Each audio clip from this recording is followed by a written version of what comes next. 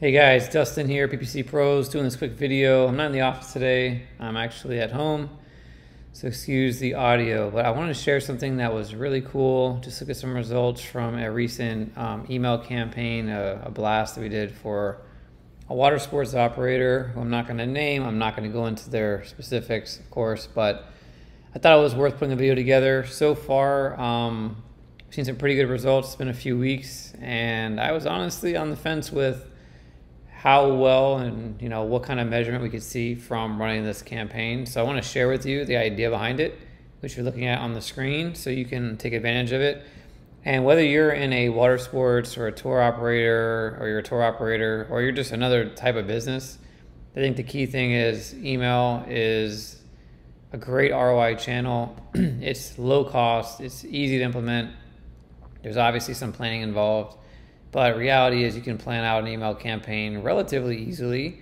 It doesn't need to be anything crazy special. Um, we use a pretty simple email template that just has a logo kind of at the top as a header, some plain text. We obviously format a little bit, and then a footer with, you know, obviously call to action button. I say obviously, it's really not obvious, but we try to keep the emails really simple and not something you have to spend, you know, hire a designer to create. If you're an e-commerce brand, that's a totally different conversation, but for what we're talking about, our goal is to keep it really personal. So let me just share with you some of the insights or some of the, the approach here.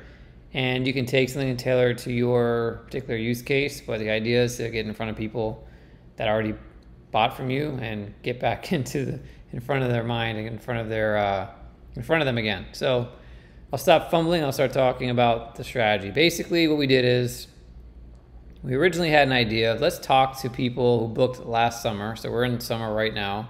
Uh, we started this about two weeks ago, so that was mid June. And my idea was okay, you know, we're here in Florida. Let's find all the people who are in the state or like within a drive that booked last summer and email them with some kind of a, first of all, thank you and a promo and just see if we can get them back. My thought is that, hey, look, these guys are local it's much easier for them to get here. So it's not like we have to hope that somebody that came in from Colorado is going to want to come back here again next year, right? That's just something we're not not really sure about. So that was the plan.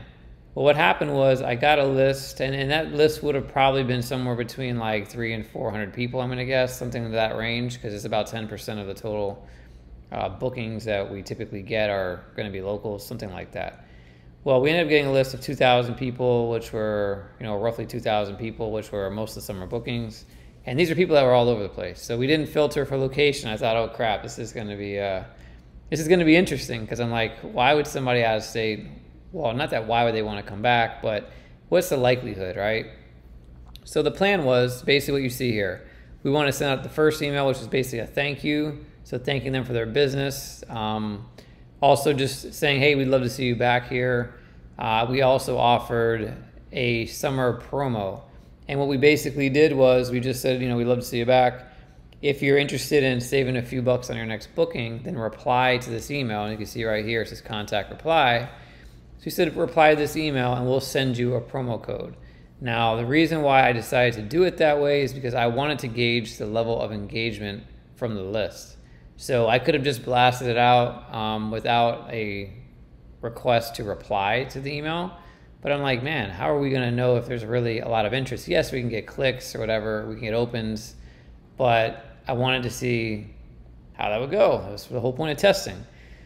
So that's what we did. So we sent out a few thousand. We got like within 24 hours, like 35 people, maybe a little bit more, um, reached right back out and asked for the promo code. I'm like, okay, cool, awesome.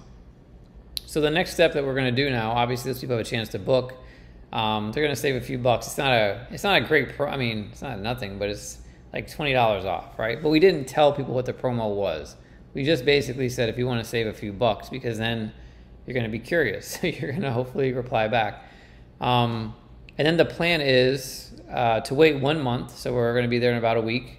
Wait one month and then do a midsummer reminder. So it's kind of like, hey, it's midsummer. You know, we love to see you out here if you haven't already gotten this way, looking for something fun to do. Again, here's the promo code to save a few bucks on your next booking. So we put the promo code in this email and the following email.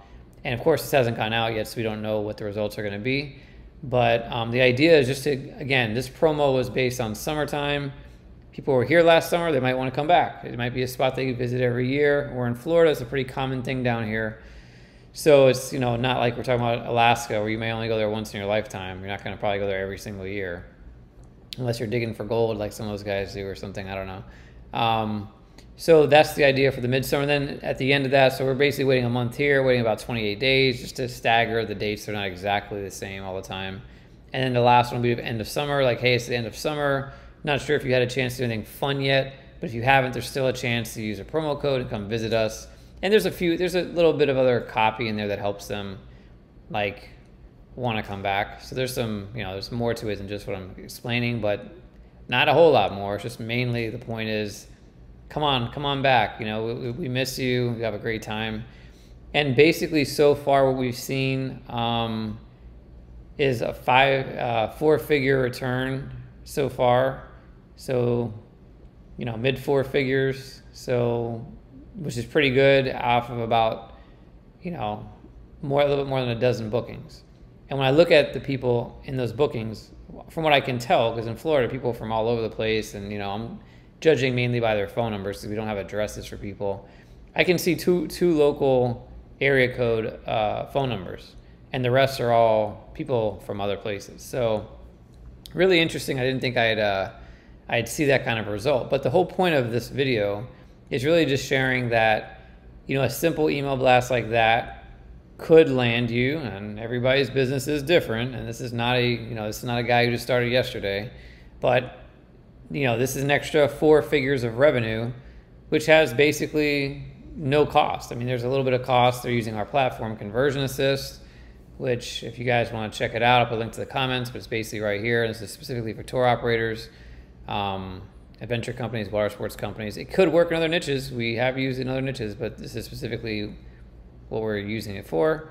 Um, but regardless of the software, you could use whatever the heck you want. You could use MailChimp, you could use your own Gmail account. It doesn't really matter. The point is, are you talking to your past bookings and are you giving them a reason to come back? Are you reminding them? Sometimes people just need a reminder. They don't need to be convinced. They just need to be reminded. So that's something to keep in mind. And then again, uh, something that you'd want to build into your regular process. So we're going to be building out campaigns that run, uh, you know, all year long, uh, all year long. And it's going to be a combination of things like this and maybe things that are just like holiday based and thanking them for being a customer on Thanksgiving. We're so thankful to have you or, you know, Christmas or, you know, things like that, you know, whatever holidays make sense. Valentine's Day, we love having you as a customer, like things like that.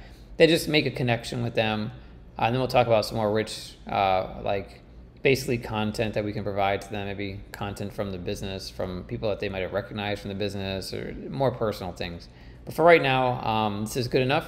I wanted to share that with you in case you've been thinking about email, you kind of haven't pushed, you know, really too hard on it. I, I, wish I would have done this a little bit sooner for some of these guys because uh, we're just not an email company typically, but with Conversion Assist being our, you know, kind of the focus for this particular vertical, and having email integration there, it just makes sense to uh, to spend a little more time making it easier for operators by having like templated campaigns like this and stuff like that. So, regardless of that, I'm not pushing the software. I'm just sharing it with you, and uh, hope it helps. Don't sleep on email. Uh, don't sleep on talking to your customers. I guess is the main thing. It's not just about the email. There's no magic here. It's just communicating with people. It's really all it comes down to. So just communicate with your past customers. They may like hearing from you. Maybe share some interesting videos or photos or messages or whatever. Maybe a phone call, which might scare people and they'll think, why would I call them? Who cares? Leave them a voice message, do a voicemail drop, whatever. Um, you know, get into their inbox, get into their mind, and maybe you'll have them back the next time they're in town. So, anyway, thanks for watching. God bless and take care.